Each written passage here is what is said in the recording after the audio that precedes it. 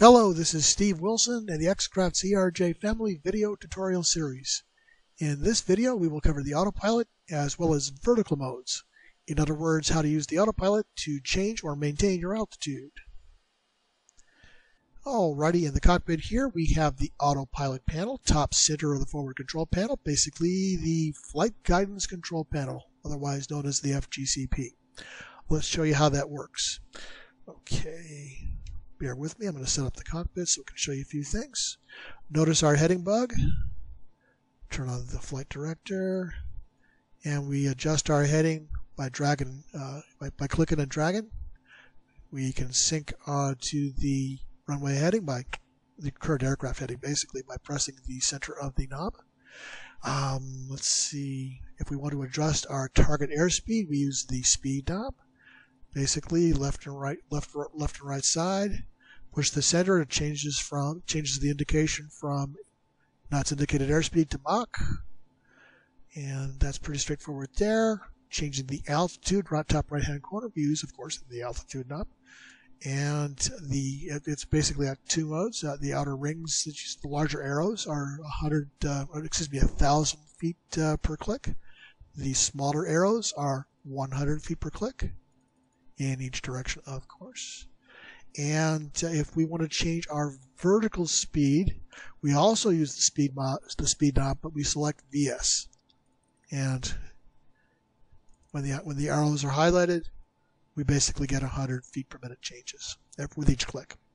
Okay, that pretty much takes care of using the panel controls themselves, but we can also adjust our autopilot values using the Tekton, F, Tekton FMS on the autopilot page. Uh, I'm going to set a target altitude of 12,500 feet, target airspeed of 240 knots, and a vertical speed of 2,000.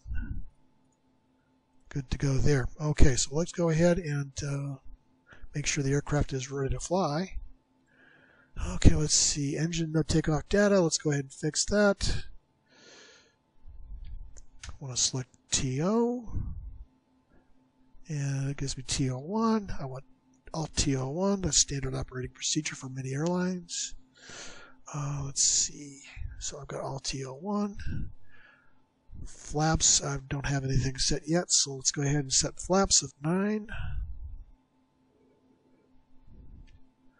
And there we go. And it's going to slowly select 9 there. Okay, we're good, good there. Let's go ahead and check the trim setting. For this particular set of parameters, we want uh, 5 degrees, 5 units up, I should say. For flaps 9, that's set. So the only thing I should have yet to do is to release the brakes. No takeoff, brakes. I love being right. Okay, so let's go ahead and take off here. Uh, our V speeds.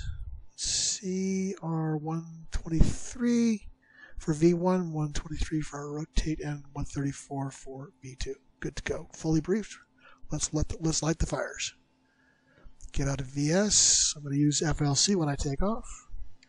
Brakes released. We are rolling. And hopefully I can get this done smoothly here. So basically what I'm going to do is I, as I take off is I'm going to select FLC as soon as I'm off the ground and uh, retract the gear with a positive rate. Here we go. V1, rotate. V2. FLC selected. Climb. Gear. Let go the let the air the autopilot takeover, and we are an FLC, we are good. I took off a little bit steeply. Let's just pretend that was for noise abatement. The aircraft's leveling off and speeding up to 240 knots. Let's go ahead and engage heading hold mode. Don't want to go wandering around the sky. So as the aircraft starts to pitch up now, okay, I'm going to backstop it to make sure that it doesn't go too far beyond 240 knots. That's just a little bit of a technique thing. Uh, at low altitudes, it can get beyond 240 pretty quickly. Um, even with Altio uh, 1. So uh, want to be sure that we allow the aircraft to settle in with a with, with a, a, pitch angle that uh, will will hold uh, two, 240 knots. Okay, uh, what was I getting at uh, with FLC? FLC is an, an automated climb schedule. Uh, and what do I mean by that? well, as we're climbing to altitude, we're, we're, we're passing through less and less dense air. So the aircraft can go faster and faster um, more efficiently. And that's more, you know, always want to have the thrust levers fully forward when you're in a particular thrust mode. Um, so now we're getting closer to 10,000 feet. As as we're climbing, the air is getting less dense, so the aircraft can move faster, uh, more efficiently. And what uh, what happens with FLC is it allows for that by changing from 240 knots to 270 knots between 10,000 and 12,000 feet. It does this automatically. And uh, that's one of the reasons I wanted to, to show you this right off uh, the bat on the takeoff. Uh, mainly, mainly because, of course, we get there so quickly. The aircraft loves to climb.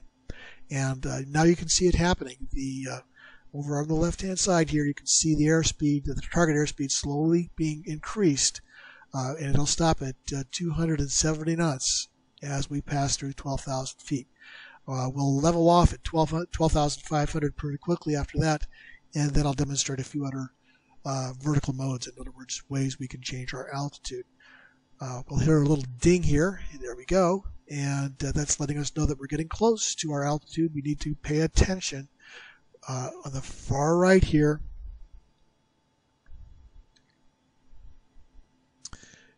The altitude is going to go from yellow to green. That basically means it's captured. And as we get out, get uh, to altitude, we're going to have to slow down. In other words, uh, retard the, the uh, thrust levers just a bit.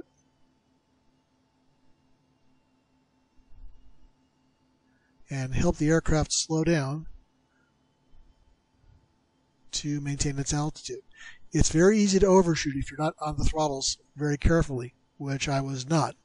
So I've kind of demonstrated uh, unintentionally the wrong way to do it.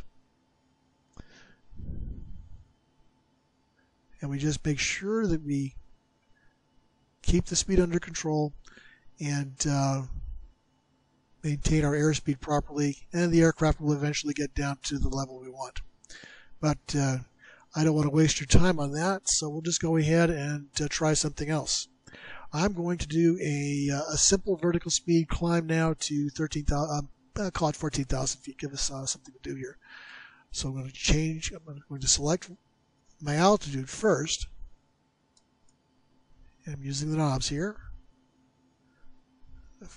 Doesn't really matter what we select because I'm going to abort that as we go just to demonstrate something else. Okay, so I've selected 14,500 feet. I'm going to increase my speed and I have now selected need to select my vertical speed which I'm doing with the knob and I'm going to select 2,000 feet there we go. 2,000 feet per minute climb. And of course I've got to watch the throttles too. Lots to do in an ERJ cockpit folks. It's it's not like driving a bus that is for sure. Okay so I'm going to let uh, the aircraft settle. I'm trying to maintain 270 knots if you hear me messing around here. In fact, what I should probably do is go ahead and change over to uh, cruise thrust, which I neglected to do in the enthusiasm of showing you folks how this works. Okay, and we overshot again a little bit. Alrighty, that basically gives you the idea of what we do for um, a vertical speed climb. And again, it demonstrates that it's very easy for the aircraft to overshoot. And uh, the way to make sure that you don't overshoot is to be on top of those throttles. Can't, cannot overemphasize that enough. This aircraft does not have auto throttle. Okay, uh, so we've done a vertical speed um, climb. Vertical speed descent is the same thing, so I see no benefit to doing a descent in that direction. So let's go ahead and do just a simple uh, speed descent. I'm going to uh, set my speed to 250 knots. I'm out of VS, so I can go ahead and do that. And and I'm going to let's descend to 12,000 feet. Got a little carried away there. In fact, let's leave it at 8,000. I'm going to show you altitude capture. So we are good to go. Select speed. And here I have to kind of help the aircraft along by slowing down by pulling back on the thrust levers.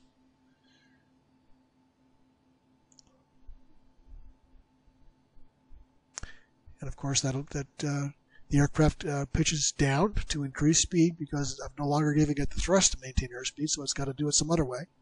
And that is a, that is exactly what an SPD climb, uh, excuse me, an SPD descent or climb is. In this particular case, a descent. And now it'll slowly pitch up just a little bit to maintain 250.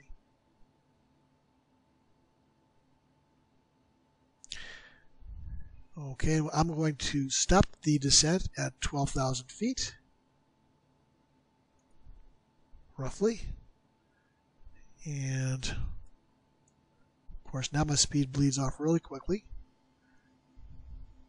And I overshot just a little bit. That's one way of capturing your altitude. All right. So far, so good. Okay, now we're now we're holding at roughly 12,100 feet. And that's basically how you can interrupt a climb or descent, just by clicking on the, uh, the uh, altitude button at the appropriate uh, altitude. If every, basically, if ATC says level off where you're at, just reach over and click on that uh, altitude button. Okay, okay, let's see what else we can do here. We've done a speed descent, we've done an FLC climb. I think the only other thing left to really demonstrate would be a, an FLC descent. Kind of a little bit uh, different than our uh, FLC climb. It doesn't automate airspeed, it automates uh, rate of descent. So let's go ahead and set a lower altitude here. I'm going to go down to 5,100 feet. 5,000 feet even. Let's go ahead and say, so I've got my altitude set just go ahead and select FLC. And now the aircraft's going to pitch down at 2,000 foot per minute automatic rate of descent. And I'm just going ahead and I'm throttling back as best I can to keep uh, the aircraft at a reasonable airspeed. I'm a little on the fast spot, fast uh, side here, so I'll, because because I'm descending below 10,000 feet, I want to get it down closer to 240. Got to present, got to prevent overspeed. Hard on the airframe. And as we're passing through 12,000 to 10,000 feet, uh, FLC is automatically decreasing the rate of descent. And that was the primary thing to show you with uh, an FLC descent. And it uh, stops uh, decreasing uh, at 1,000 uh, feet per minute descent and uh, that actually pretty well pretty well takes care of it. So at this point, I've shown you an FLC climb where we have an automatic, uh, basically a pitch governed uh, climb, automatically sets airspeeds for you. You have to manage the throttles all the time. FLC descent is a uh, descent governed by um, vertical, you know, vertical, basically vertical speed, and now we're at 1,000 and holding. And of course, for, uh, you know, VS uh, vertical speed, climb and descent, very very straightforward. Just set the uh, rate you want to go, manage your manage your throttles accordingly. Uh, and uh, the, the key thing to remember for all of these uh, vertical modes is the first thing to do is to set your altitude. And that just about wraps it up for this video. Sorry it went a little bit on the long side, but uh, as you can see, there was an awful lot of material to cover, and uh, I think we got there. Yeah, of course, if there are any questions, by all means, please do reach out to us uh, at x-plane.org in the ERJ family uh, forums, and uh, we'll be happy to take care of whatever questions you might have. That said, thank you very much for watching. Look forward to seeing you in the next video. Have a great day.